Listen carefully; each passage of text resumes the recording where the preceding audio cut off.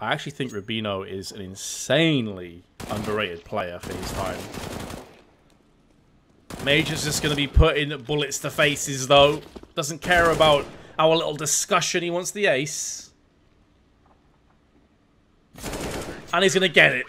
Easy as you like. It wasn't against the Great Buy, but Major has just smashed everybody that's gone up against him. And he's moved to 21 and 8.